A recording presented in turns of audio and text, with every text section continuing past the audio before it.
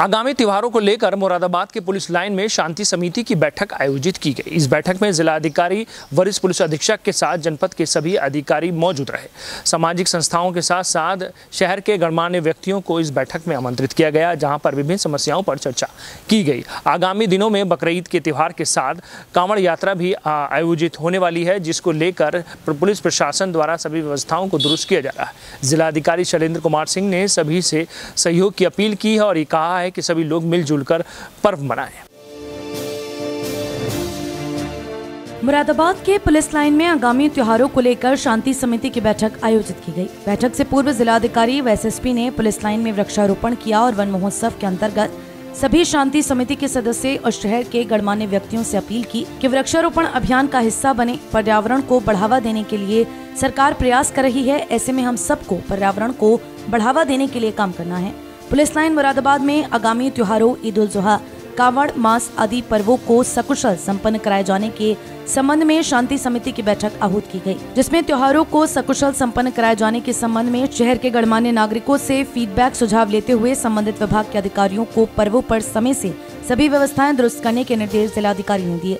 इस अवसर पर जिलाधिकारी ने आश्वस्त किया कि जो भी समस्याएँ बताई गई हैं उनके निस्तारण हेतु पूरे मनोयोग से कार्य किया जाएगा। और सभी तरह की व्यवस्थाएँ दुरुस्त की जाएँगी। उन्होंने कहा कि यदि कहीं पर कोई कमी रहती है तो अवगत करा दें, समय से ठीक करा दी जाएगी। त्योहारों पर एक दूसरे के प्रति सम्मान की भावना बनाकर रखें। एक दूसरे के त्योहारों को मिलजुल कर पूर्ण सहयोग के साथ मनाएँ। उन्होंने कहा कि जिला प्रशासन आपके साथ है।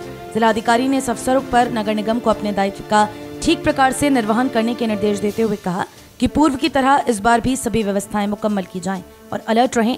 उन्होंने विद्युत विभाग को निर्देशित किया कि इन अवसरों पर विद्युत की आपूर्ति में कटौती न हो, इसको सुनिश्चित किया जाए।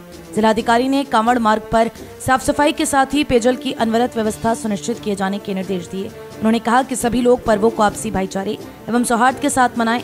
प्रशासन आपका पूरा सहयोग करेगा और आप सभी प्रशासन का सहयोग करें।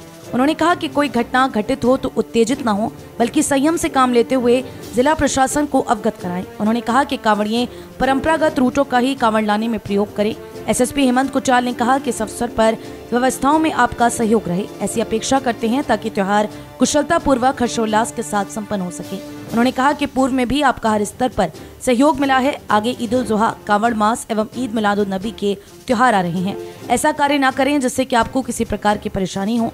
सोशल मीडिया पर सतर्कता बरतें, अफवाहों से बचें। शहर में अमन शांति बनाए रखें, सभी एक दूसरे के धर्मों का सम्मान और आदर करें। उन्होंने कहा कि वायु प्रदूषण न हो, इसमें भी सहयोग करें। छोटे छोटे विवादों को संज्ञान में लाएँ ताकि समय से निस्तारण किया जा सके। उन्होंने सभी को आने वाले त्योहारों की हार्दिक शुभकामनाएँ देते हुए पर्वों को सकुशल भाईचारे के साथ पूर्व की भांति मनाने का आह्वान किया। शहर इमाम सैयद मासूम अली आज़ाद ने कहा कि पूर्व की तरह इस बार भी प्यार एवं मोहब्बत के साथ त्योहार मनाया जाएगा। हर आदमी अपने कर्तव्य का पालन ठीक प्रकार से कर ले तो किसी प्रकार की समस्या नहीं आएगी। त्योहार खुशी का नाम है। हम सभी अपने बच्चों को अच्छी तालीम दें, ईमानदारी के साथ कार्य करें, व्यापार को बढ़ावा दें, जनपद के विकास में अपना योगदान दें। उन्होंने कहा कि सभी त्योहार हमें पैगाम देते हैं, त्योहार की मूल भावना को ध्यान में रखते हुए त्यौहार मनाएँ।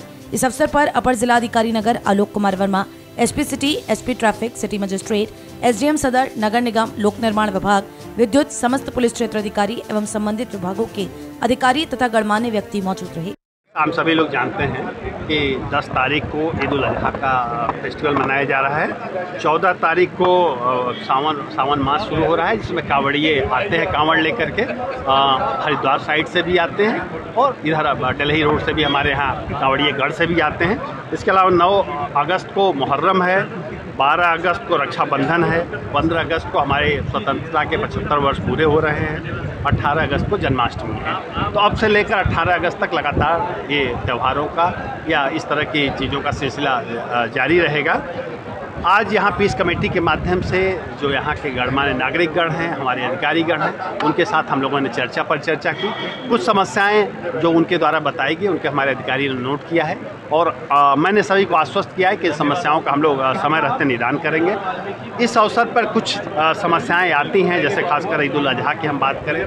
कई बार कुर्बानी को लेकर के कुर्बानी स्थलों को लेकर के सफ़ाई की व्यवस्था को लेकर के पेयजल की व्यवस्था को लेकर के बिजली की आपूर्ति को लेकर के कुछ विवाद की स्थिति बनती है। लोगों को आश्वस्त किया गया है कि इसकी समुचित व्यवस्था रहेगी। कहीं किसी तरह की आपको दिक्कत नहीं आने पाएगी। ऐसे ही जो कांवड़ के रास्ते हैं, उसके साफ़ सफ़ाई की समुचित व्यवस्था, झाड़ियों आदि की वहाँ पर कटाई करना, प्रकाश की व्यवस्था, जहाँ कांवड़िए रुकेंगे, वहाँ पर समुचित व्यवस्था, ये सारी व्यवस्थाएँ हम लोग कर रहे हैं। और लगातार हम आम लोगों के लोगों के साथ सामंजस्य बनाए हुए हैं। हमारे यहाँ पुलिस चौकी लेवल पर, थाने लेवल पर, सर्किल लेवल पर पीस कमेटी की बैठकें की गई हैं, जिससे कि स्थानीय स्तर पर जो भी समस्याएँ आ रही उनका हम समय रहते निदान करें।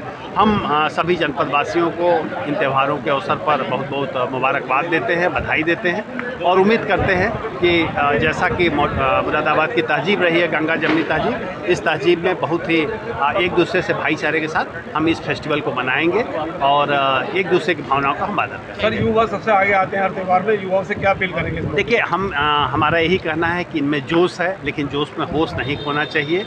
एक दूसरे की भावनाओं का सम्मान करने से हमारा खुद सम्मान बढ़ता है तो हमें एक दूसरे का सम्मान करना चाहिए।